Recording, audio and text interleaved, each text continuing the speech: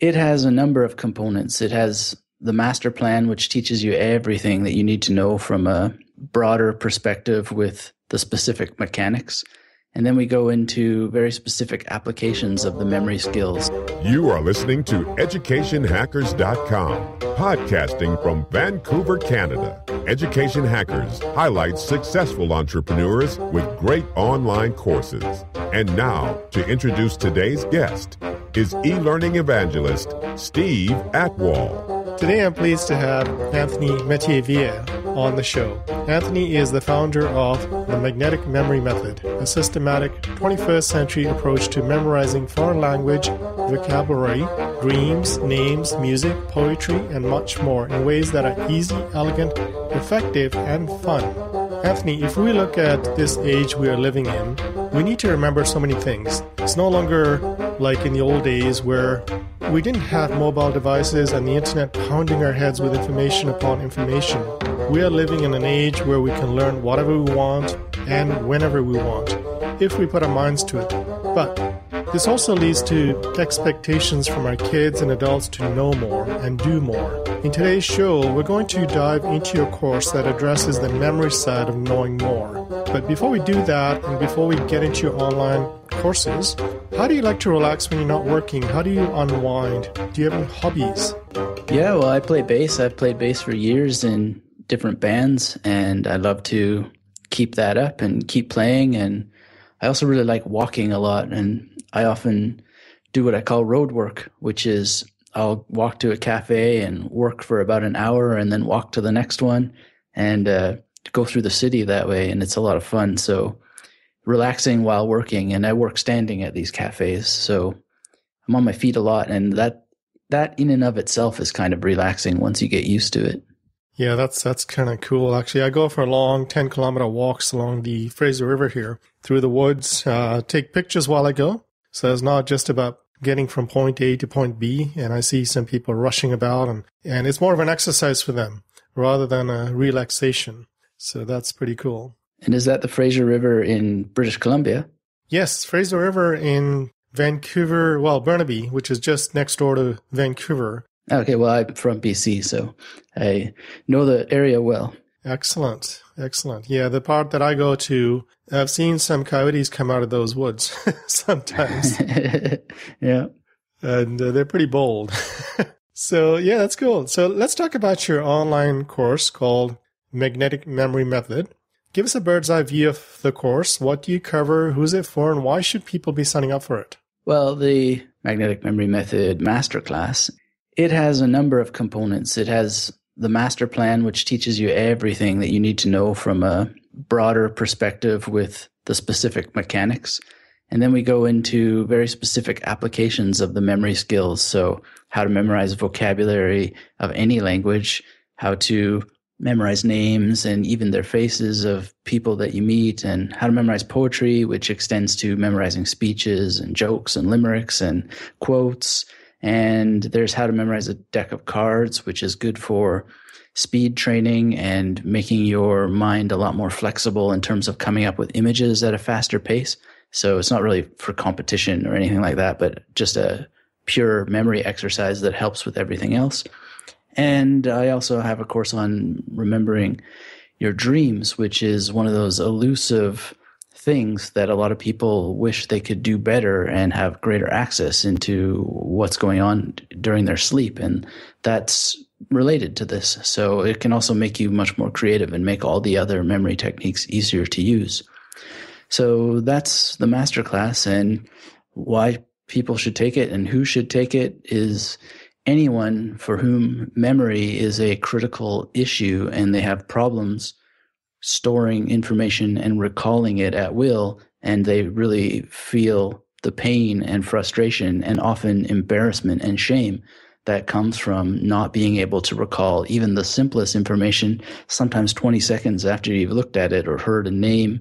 And you want to overcome that and be able to recall information years later just by using a few simple techniques. So it's for really anybody who has memory as a concern. Now, I, I have met some people, some older people that have issues remembering things. Now, we're talking about people that are healthy people that don't have any other physical problems in terms of memory.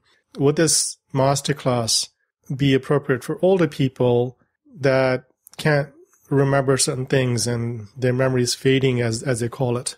Yeah, absolutely. I have people in the masterclass who are in their late 80s and are getting great results. They have different goals, of course, than some younger people would, just wanting to retain poetry that they loved at earlier parts of their life or or they're even at that later age studying languages. It's surprising the amount of people who are learning languages so late in life, which is absolutely fantastic. And for anybody who is concerned that age might be a, deterrent to learning memory techniques, the exciting thing about uh, using memory palaces, which I ground the magnetic memory method on, is that there is very strong research and application going on using memory palace techniques to help Alzheimer's patients. And they're getting results in terms of just simply allowing people with this condition to retain the names of their loved ones. And so what this suggests, and we already know this, but it suggests that memory techniques can be curative for memory loss and also preventative. So it's never too late, in other words, to get some results from memory techniques and I'd probably a lot of results. That's awesome. That's very promising. Now, you talk about uh, memory palaces. Tell us what memory palaces are.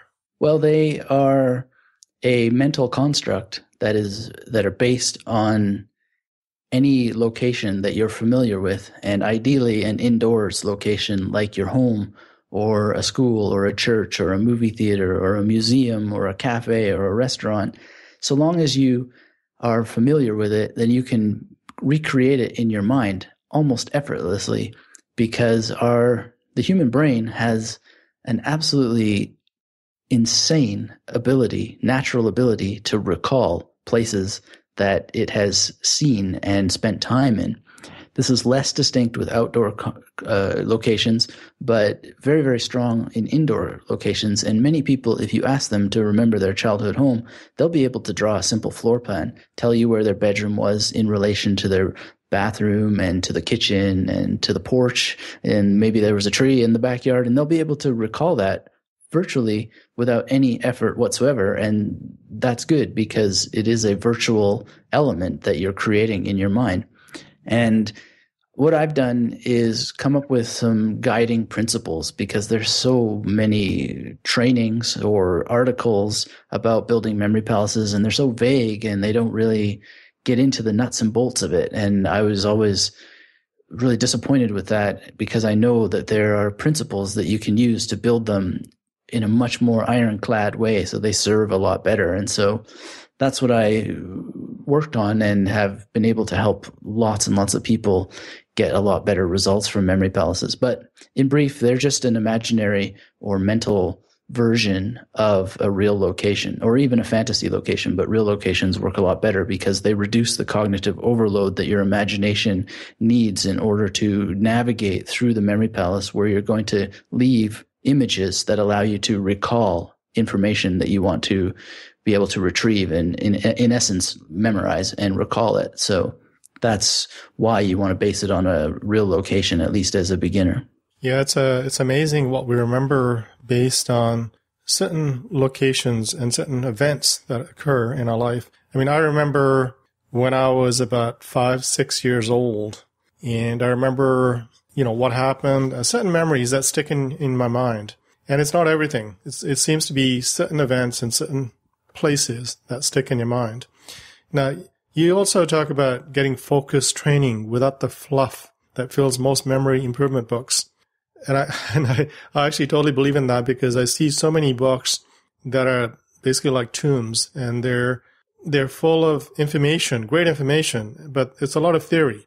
What I like to have is practical step by step techniques and exercises that help me do what I want to do. I think you focus on that as well in, in your masterclass by delivering step by step instructions and exercises. Now I'm going to read a testimonial from one of your students, and it goes something like this. Now I believe that I truly can learn anything. The greatest challenge is figuring out what I want to pursue next. I truly believe that your method is unique to anything else out there. It is groundbreaking. You have really opened my eyes and my mind to the potential of my mind. And I thank you so much for that. That's from Jeremy Lambert. So that's really, really high praise. And I see that a lot of students are very, very happy with your methods. What are some of the big questions that you get asked by students taking this course or your master class? Well, I get a lot of questions. Well, they're theoretical questions. I mean, you mentioned that uh, a lot of these books are filled with theory, and that's not bad in and of itself. But one of the reasons why I don't concentrate a lot on the theory is because the we don't really need it in order to actually just follow the steps. And it often gets in the way of following the steps. And if you did want the theory, then, or let's put it another way, a lot of people are interested in the scientific theory behind it rather than the theory of why the techniques work. And so people often ask me, what's the science behind it? Because they want that sort of element of qualification as if having some sort of demonstrable studies would convince them to take action a lot more. So I get questions about that. And I often just answer it with the World Memory Championships website. And they can look at the stats that people have, or I recommend them to a book on the science of memory, like from John Arden, for example, and they can get into that sort of thing. But I think that that's a distraction. I think that people use that as a means of not taking action because there's a bit of effort involved. And so my suggestion is always to take action first and then use the excitement of the results that you get to generate your research into the science rather than the other way around because you may never get back to actually using the techniques when you start reading uh, the science behind it because this is one of the things that's so amazing about the whole world of memory is that people get very fascinated by it. They get fascinated by it as a subject in and of itself. And a lot of people understand exactly what I'm teaching. They know why it works because intuitively you know why it works once you've learned the techniques. But they then get wrapped up in the labyrinth of possibility and never actually do the stuff. And so I get a lot of questions that are really deviations from taking action. And then other questions usually contain the answer in the questions. So people will say, Can I do this or can I do that? And the answer is always, Yes, you can. Try it, experiment, and track your results. And when things are working, rinse and repeat. And when they're not, try something else. And so a lot of people really are asking for permission to experiment. And all my courses start with the requirement, the prerequisite that you're willing to experiment because these techniques are kind of like a bicycle that you get out of the bike store and you have to adjust the handlebars a little bit towards you or away from you and you have to raise the seat or lower the seat and maybe there's some things to do with the gears and and the the tightness of the brakes and then it suits you much more much better. But you can't just take it out of the box and expect to win a race or anything like that. You need to adjust make adjustments to your own personal learning style. And of course, you're building your own memory palaces based on buildings that you are familiar with. So the principles are universal, but they're mapped onto, or you map onto them, your own life, your own personal history. And so it's always that level of personalization and your willingness to experiment with it that gets you the greatest results. And so those are the questions that I get usually something about the science, something about theory, or permission based questions that have the answer already in them, which is to do it. Yes, you can. yeah, it's, it's amazing because once you get into it, and I always tell people to do rather than just think about it and just learn the theory because it's the doing that actually gets you excited and interested and, involved. But the theory is, is, is important and uh, you should, you know, if you're interested and you want to learn the theory behind something, and I usually do, but it's the doing that actually helps you learn. I'd like to do a little bit of a deep dive into the courses that I'm looking at here. You have four courses and five memory bonuses. So let's take a look at each one of those. Your first memory course goes over the Magnetic Memory Method Master Plan. This course introduces you to the most powerful memory techniques on earth. You learn in a friendly setting from a master memory instructor. No stone is left unturned in this introductory course. Now, we talk about memory and we talk about how anybody can improve their memory. You have to exercise your memory in order to improve it. And you mentioned that it's like learning to ride a bicycle. You talk about five stealth secrets for creating memories that last forever. Can you tell us a little bit more about this this particular course? Well, yeah, it was shot in Vienna in uh, oh wow in Austria, and it, it was fantastic. The sound of music uh, land. well, I didn't hear any of that in the background, but I mean, it's it's a great place to to be in a very memorable place with Freud and all of that uh, in the background, and I was really happy to be invited to go and do that and and to have it shot live. And so we turned it into an actual video course, and it goes into the basics with some very very specific advanced stuff built into it. So the, the construction of well formed memory palaces is a huge thing because if you can get that right, everything else is going to fall into place. And it's one of my biggest criticisms of all the memory books is that they teach all of these other techniques, but they aren't they don't seem to have the awareness that every other memory technique can be used inside of a memory palace.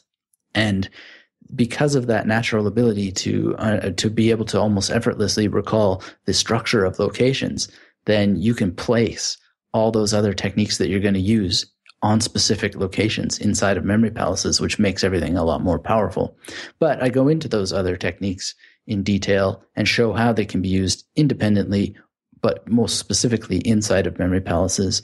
And then we talk about in the course some applications to actually studying what if you're a student for example or if you're studying for a professional certification or you just want to improve your professionalism inside of the career path that you've chosen, how to actually apply these memory techniques to what you're doing so that you can create, not just fill your head with knowledge, but be able to recall it and create new knowledge because of the connections that you'll be able to build in your brain using these memory techniques.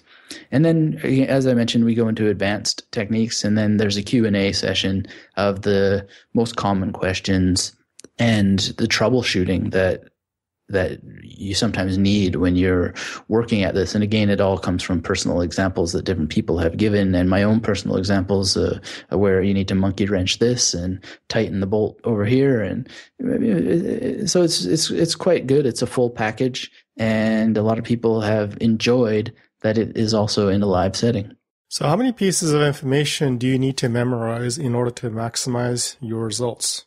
Well, everything needs to be figured out in advance. So you can, well, it doesn't have to be figured out in advance, but it helps a great deal if you are able to have some kind of goal or idea in mind. And one rule of thumb that I always used, and of course it's going to be different for different people, but in my field, when I did my PhD, I was doing film theory, film history, and a lot of philosophy because I focused on the the continental philosophers and how that they talked about literary theory and all of this stuff. And so these are really complicated books. And so as a rule of thumb, I told myself three things from every chapter.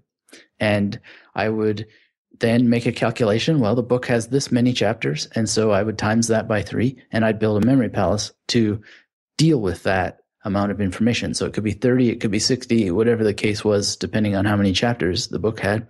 And then I would go through and sometimes just do it straight into my mind as I was reading, take the information and pop it into a memory palace, or other times when I knew that I was going to need to write something about this material later, I would keep index cards, and those index cards would be linked to spots in the memory palace so that I could actually write on the index card where in the memory palace it was. Wouldn't need those index cards to access the information, but later when I wanted to write a essay, I could order those index cards in any way that I wanted and just simply refer to the new order.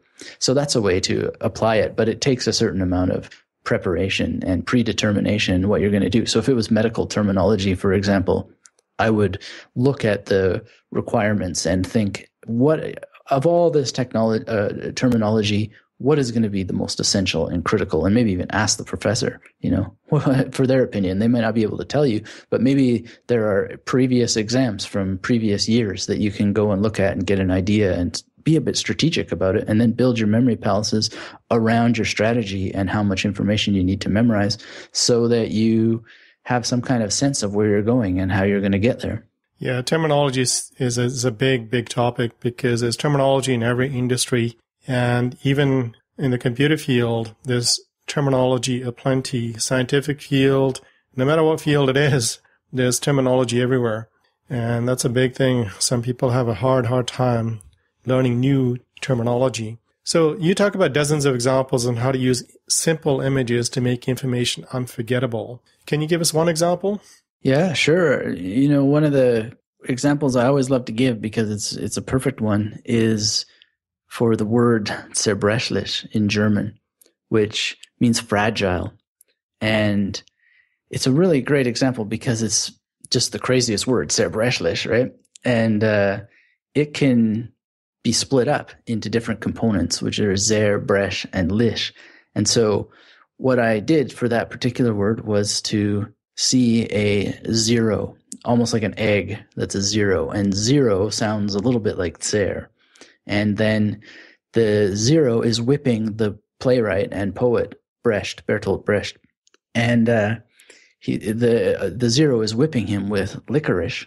So, and as Brecht is being whipped, he's carrying a very fragile vase. And so when you put zero, Brecht being whipped by licorice, and you know you don't get too worried about well licorice has liquor in it and how do i get to the ish part? Your mind kind of organizes it for you and it just becomes an equation. So ser bresh lish is is decoded from that image and the meaning is in the image because it's a fragile vase and yeah if you want to go further because there's another word that's related called Zerbrechlichkeit, which is fragileness, then you can tie a kite to this whole operation and, and and very quickly you begin to get a lot of words in your mind when you have a path through a memory palace where you go word after word after word and perhaps you organize the words as I teach so that they are alphabetically arranged. So it's not just Zerbrechlich, but it's also all the other words that start with Z E R in German. And same thing with medical terminology you might have a stack of words that start with whatever the case may be, uh, TAN or ACT or CAT, whatever it is. And then you can string them along the journey and have a central figure like a zero or Brecht or a cat or whatever it is, and have that character move from station to station in the memory palace and engage in these little images that little vignettes little they're not really stories but vignettes that help you recall the sound and the meaning of the word at the same time. Wow. It's amazing you talk about german as a language uh, because i'm trying to learn a few phrases. And uh, my girlfriend uh, she has a german background. And one of the people that i work with sometimes um, he, he has a german background. So i'm trying to learn a few german phrases so you also have um, the second course, which is how to learn and memorize the vocabulary of any language. And it's suitable for anyone learning vocabulary of any kind, be it in your mother tongue, French, German, Spanish, etc. And you say that you can literally learn a word once you have it available for recall at any time.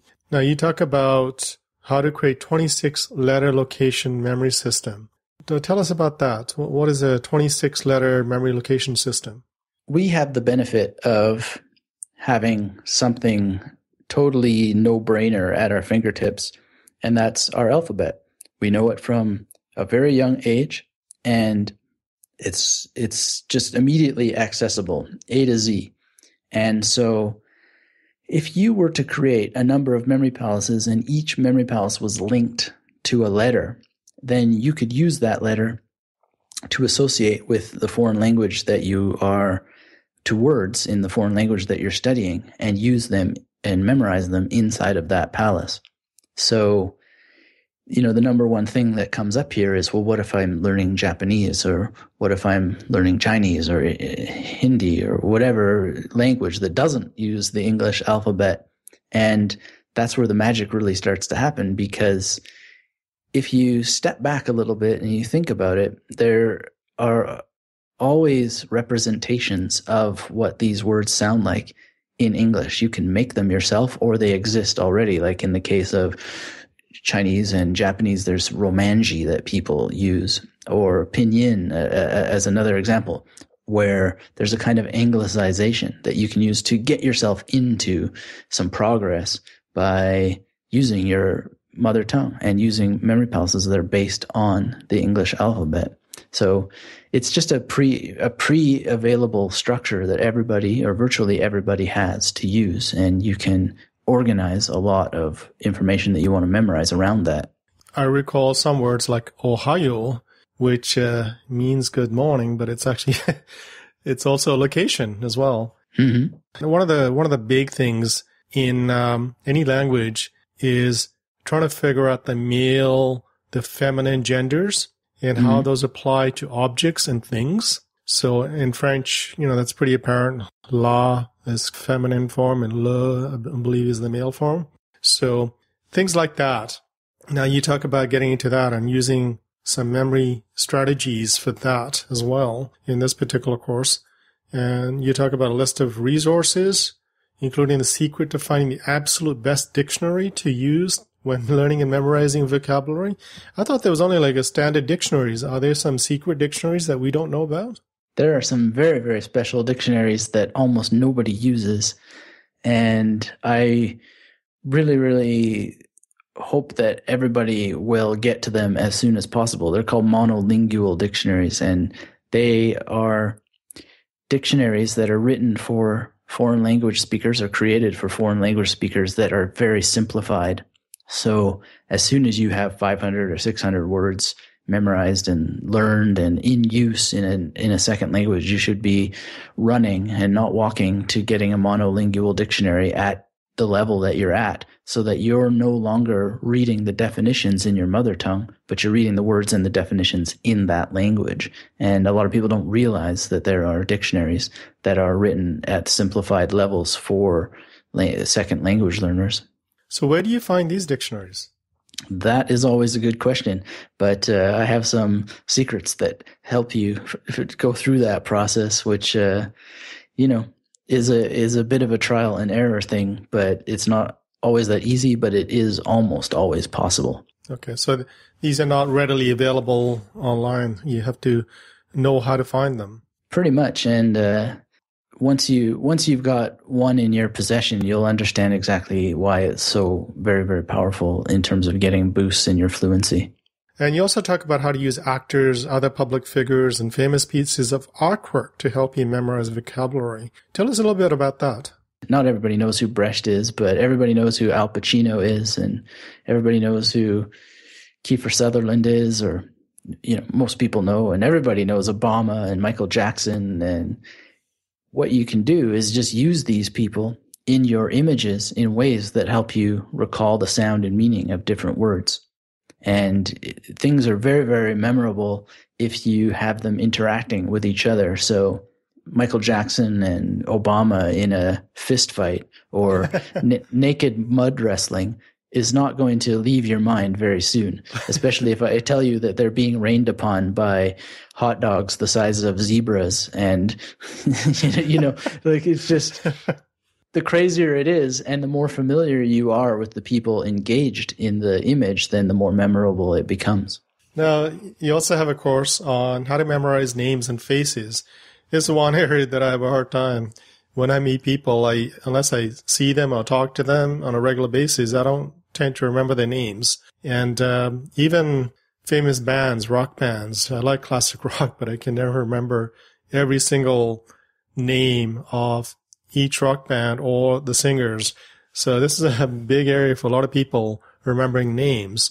Now, how do you, um, now you talk about simple examples of complex names to walk you through the process. Now, tell us a little bit about this particular course. Well, there's different techniques for memorizing names, and some of them are classic. You know, you hear a name and then you create a rhyme for it. So John is wrong or something like that, which is a half rhyme, but something or you know, sad Vlad or Mary, Mary, Mary, and just different things like that, where you make a kind of rhyme or half rhyme, and that's okay, but it's not nearly as good as being able to create an image that like with the other examples, allows you to recreate the sound of the name and bring it to mind. And so one of the things that I never really liked was Harry Lorayne's idea that you create an exaggerated image on the person's face.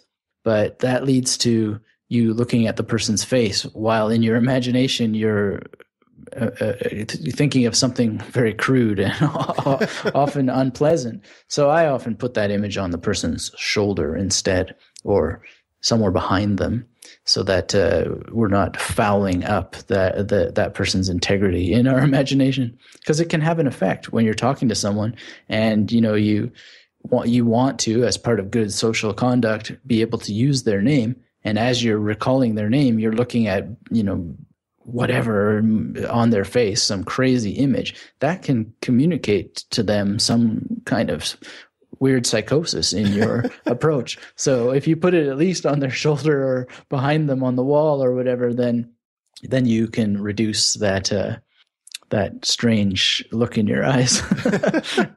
Plus, you want to remember what they look like, right? And if you try to superimpose something on top, right? Even maybe the mannerisms, the way they talk, and the way they walk, or the way they look. So sometimes you just want to remember a name and associate the name with the face but sometimes you also want to remember some other details as well. Yeah, I mean, there's all kinds of things that can be useful, whether a person has a ring on or whether they have some dust on their cuffs of their sleeve because they maybe are a violinist or, what, or for whatever reason they might have dust. And these things can be very, very useful if you're a reporter or a writer or a psychic, which I don't recommend anybody take up the job of, of, psychic, but psychics use memory techniques.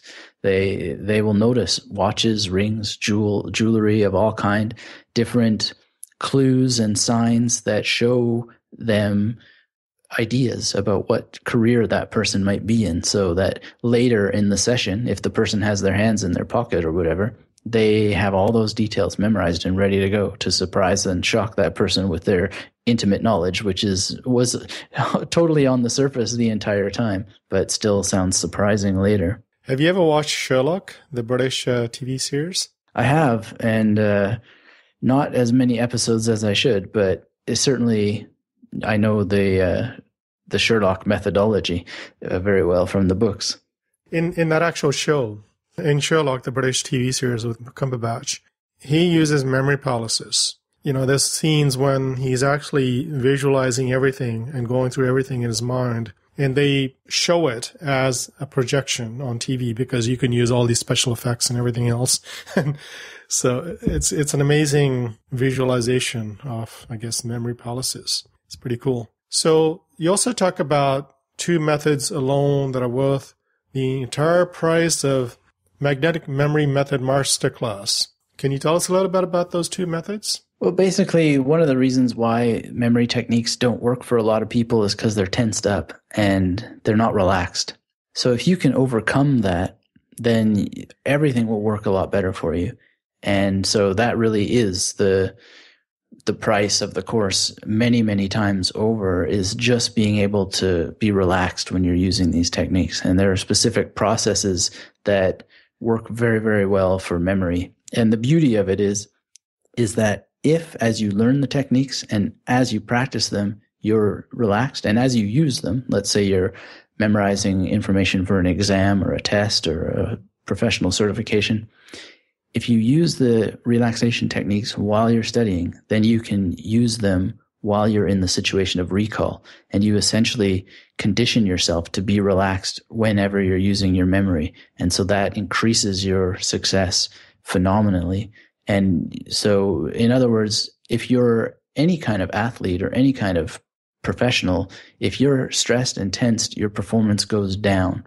And so this really makes the difference for so many people. And I get letters all the time by people who say, you know, I took your advice and I used these approaches to relaxation and it just made all the difference in the world. It wasn't working before that, but once I got into this, which very few people really want to do it immediately because it sounds kind of corny, but it does make all the difference in the world. And people who use it in combination with the memory techniques, they report much better results. Now you can get great results without doing it, but this is the game changer. This is where you go into the the level on top of the level and see how to get even higher than that because relax we just know this from all kinds of fields of performance that if you're not relaxed then you you break bones and you pull muscles and it's the same thing with what goes on in your mind.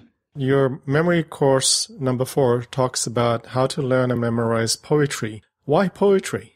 Well it's basically a very good exercise for learning how to memorize verbatim text so if you want to be able to memorize every single word in a paragraph or a speech, then one of the best ways to learn how to do that is with poetry because poetry is not just about word for word, line by line, but it's also very, very specific and specialized words that are designed to have certain emotional effects and certain conceptual and intellectual effects at specific times in the line. And there are other techniques that go on in poetry that really give you a bit of a stretch and you can use that experience and those techniques in order to memorize anything verbatim. So it could be a very specific dictionary or encyclopedia definition for a specialized term in your field, or it could be an entire speech. But I start this with the poetry. I, I, I, could just change it to how to learn and memorize verbatim text, but it's not nearly as sexy or interesting as poetry. Well, you can also use it to memorize jokes, limericks, lyrics, quotes, which is a big, big topic. Uh, a lot of people like quotes, special quotes.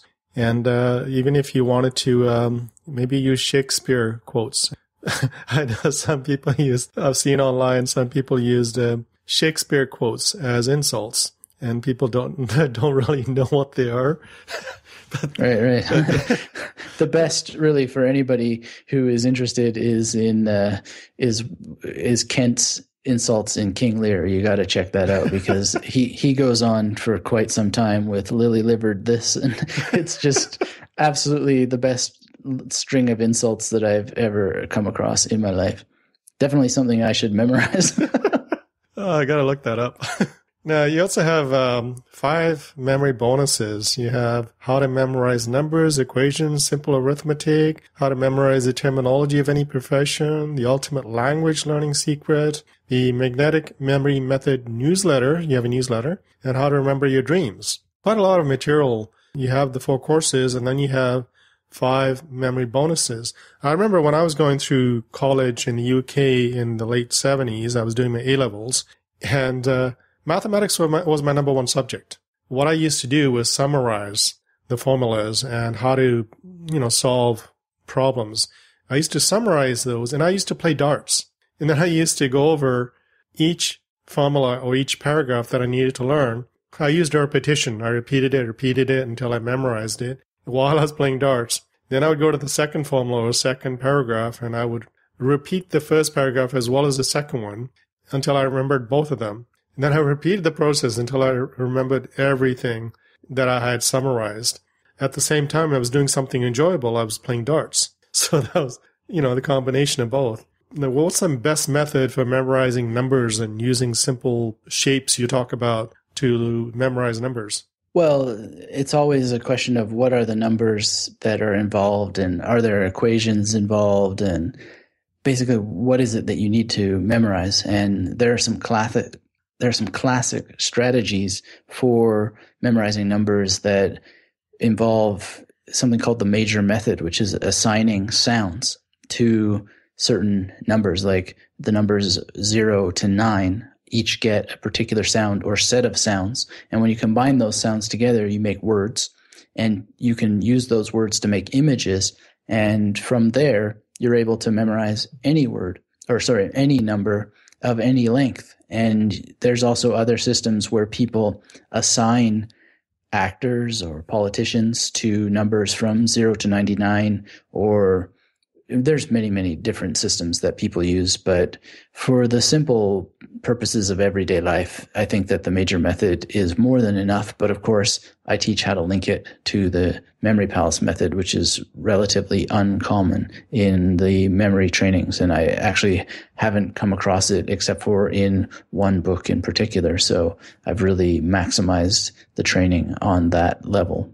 So you could use something like this to learn pi to so many digits Yes, and that's one of the com- competitive areas that a lot of memory competitions have is they either use pi or they use some digit that goes into the thousands of numbers.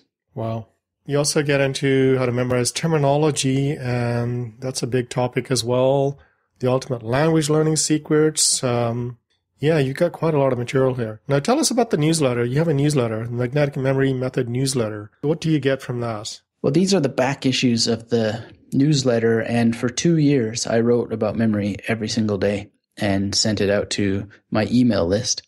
And so I've collected all those messages together in the newsletter, and there's over 700 pages there. Wow. People have found this to be an incredible resource, and people email me to this day saying, you know, what happened to it, and why don't you do it anymore? And oh, they wish that they had that daily reminder and that daily new bit of insight to be able to memorize information better and to understand memory in the field of memory and memory training a lot better. And well, one of the things I do now instead is a weekly podcast, and that's uh, helping people even more in an audio format. But the newsletters are still available inside of the masterclass for reading. And a lot of people find it uh, the ultimate manual, really, for going deep and daily inspiration and daily insight and it's like those old daily bread things that churches had to go along with the Bible to accompany all the different verses that that uh, people read, so they have deeper insight into the context and and just inspiration about how to use that information in your daily life. Wow! Tell us more about your podcast. Well, the podcast is next week is officially one year old, and I was really surprised to look at the stats that in in a year, 150,000 downloads of the various episodes. Wow.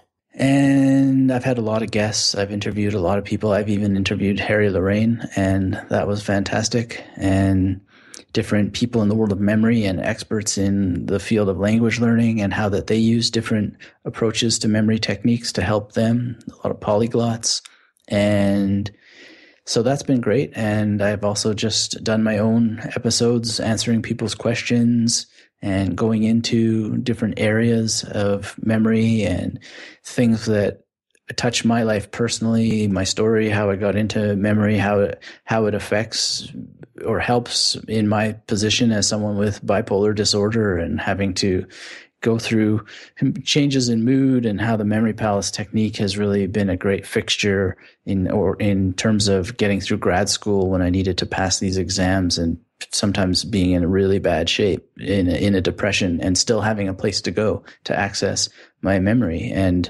the things that I had worked so hard to learn that had been you know thrown out by a tsunami or were inaccessible in a dark haze. And so I talk about that a fair amount on the podcast and the ongoing adventure with that actually. And it's really helped a lot of people who don't get to hear a lot about that aspect in the world in general because there's so much stigmatism to that condition. So yeah, stuff like that on the podcast. And what's it called? The Magnetic Memory Method Podcast. Awesome. We'll put a link to that in the show notes. Now, you also talk about how to remember your dreams. Uh, do you get into lucid dreaming here? No, I'm actually a bit of a controversial voice, and I often get emails about this because I talk about, you know, why? Why would you want to lucid dream when you're in control of your life all day long? Isn't wouldn't it be nice to just remember more of what happens in your mind when you're not in control of your life? I kind of contest the value of being in control of your dreams.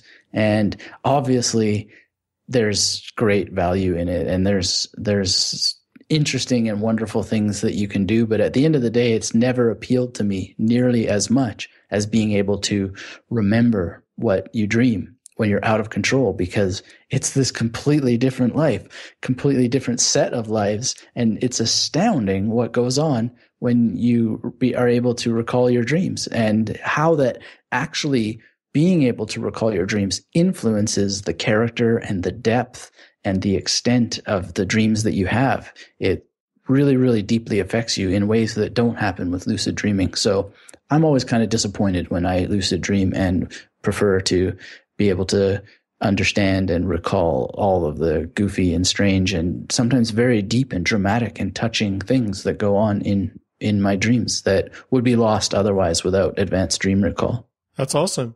What I like to do is go over some of the the techie side of your courses. What was the biggest mistake you made when you started creating your online masterclass?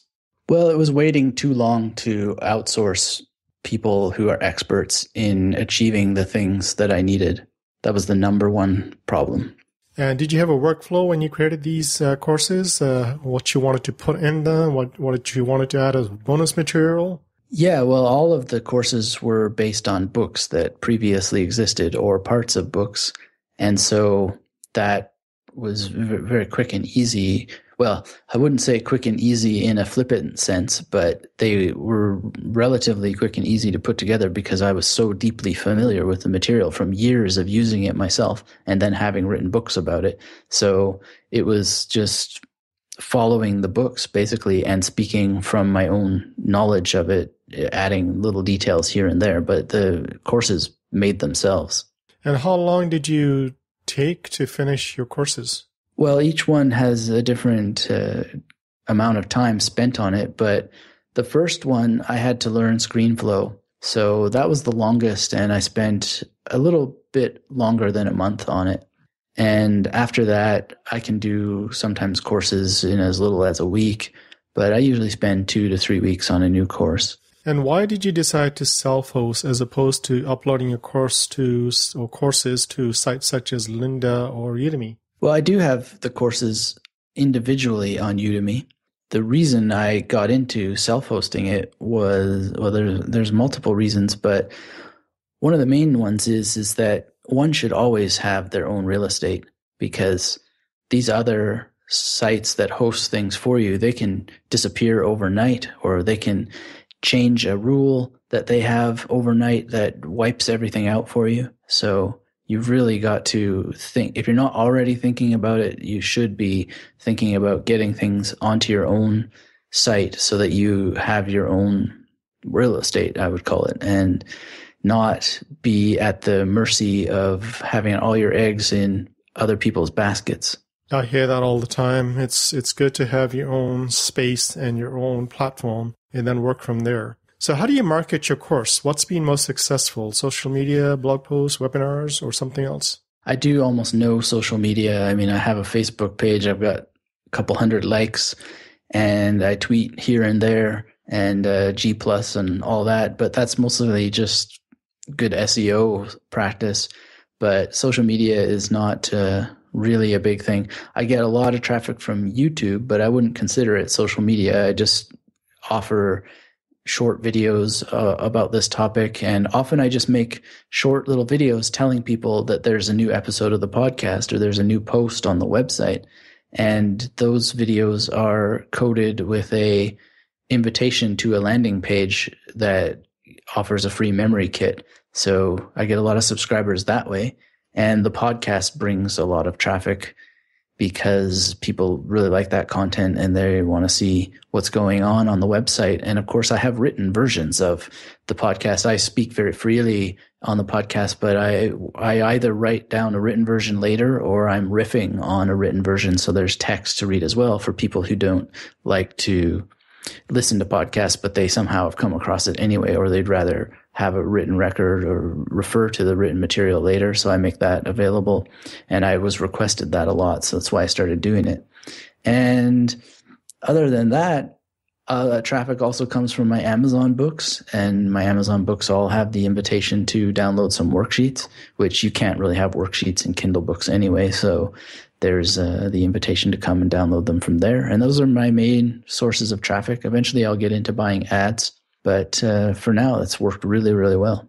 That's great. Looking back, what was the one tool, software, or hardware that you absolutely needed to create your online courses?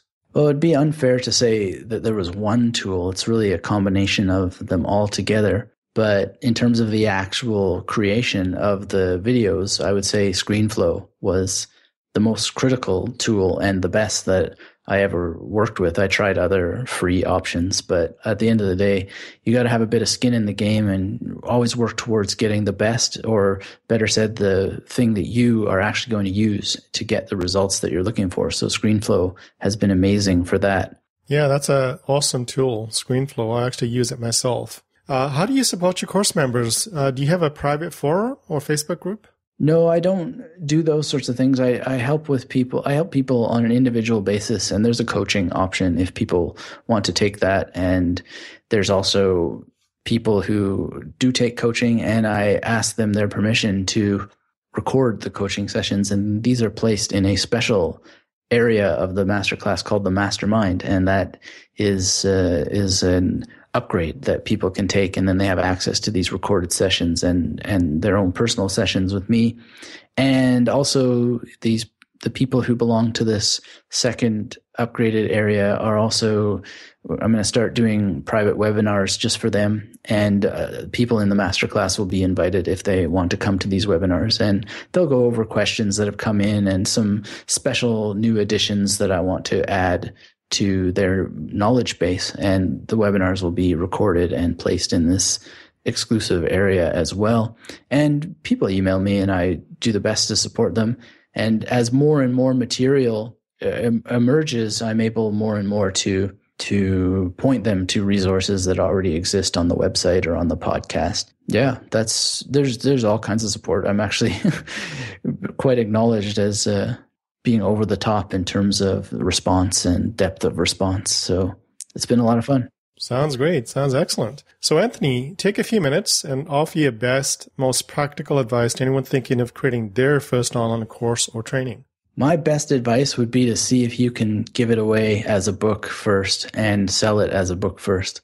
Because even though it can be very quick and easy and fun to make a video course, there is time involved and there's sweat and there's experimentation and then there's the uploading to different platforms and fussing around with product or video descriptions. And if you're using Udemy there's quizzes to be made and and you got to follow all these kind of guidelines that these hosting platforms have.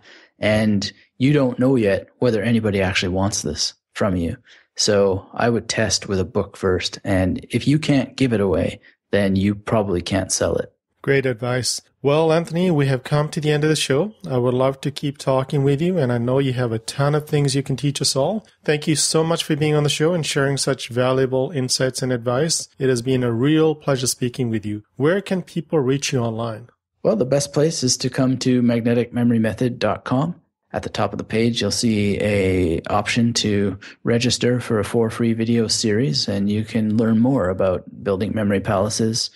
And yeah, you can find out about the podcast and all kinds of stuff over at magneticmemorymethod.com. Thanks for listening to Education Hackers. Check out the show notes and click the love it button at educationhackers.com to send us some iTunes love.